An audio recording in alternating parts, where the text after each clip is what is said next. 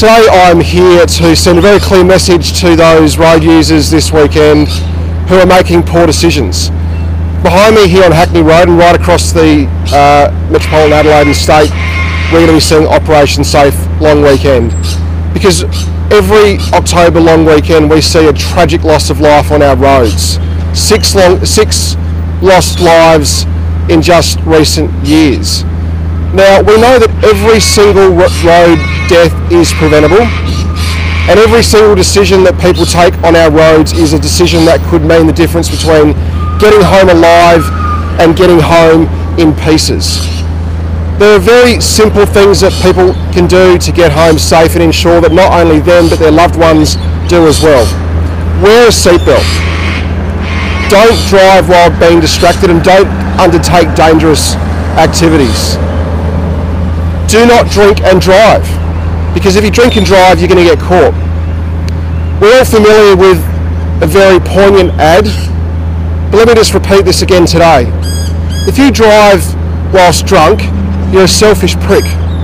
We don't want people to be taking decisions on our roads that are going to be making you, your loved ones, or anyone else for that matter, compromising this long weekend. I'm here with, with Bob Gray, who's going to say, talk a little bit more about the operational considerations that are being taken and happy to take any questions after that. Thank you, Minister.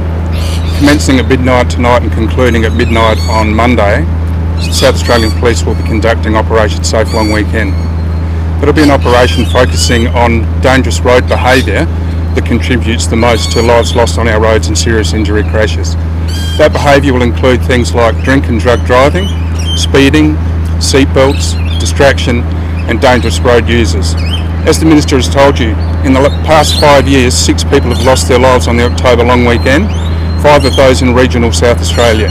37 people have been seriously injured and their quality of life significantly impacted. That doesn't need to be the case. I'd be asking for the community to help SAPOL make sure that everybody has a safe long weekend, be responsible, make good decisions if you're leaving the Metropolitan Adelaide, make sure that you're rested, make sure that you're patient, and just make sure that you're considering if you make a bad decision, who you could leave behind.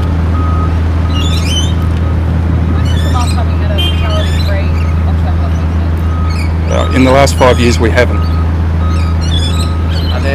Roads um, outside of the Adelaide metropolitan area that you'll be targeting?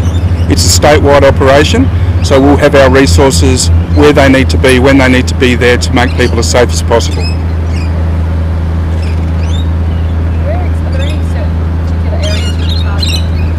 Uh, it'll be it'll be right across the state. It'll be an intense police operation because we want everybody to have a good long weekend and to come home to the ones they love safely.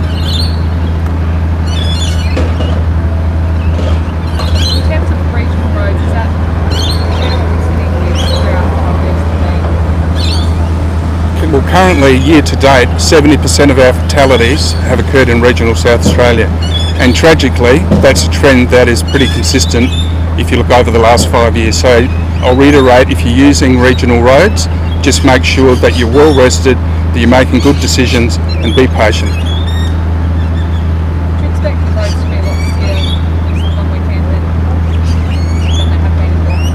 I would expect the roads to be significantly busier, particularly in regional South Australia this weekend.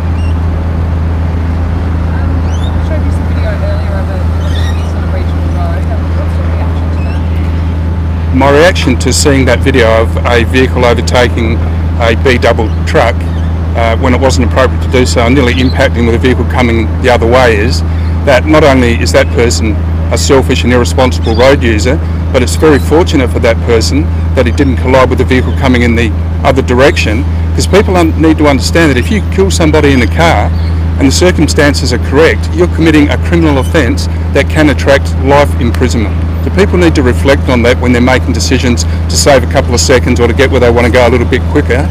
Um, the impact on you and other people can be catastrophic. How close was that to being, to being a it was extremely close. There was, um, it was good luck that that didn't occur. And yeah, what's your message to people who are thinking about overtaking on country roads at that speed? My message to people generally is that you need to make responsible and reliable decisions when you're driving a motor vehicle, whether you're driving in the metropolitan area or whether you're driving in regional South Australia. Clearly, if you're driving it in regional South Australia, things are happening a lot quicker, you're travelling at higher speeds, and you need to give that consideration. And the simple message is if it's not safe to undertake the manoeuvre that you're thinking about, simply don't do it.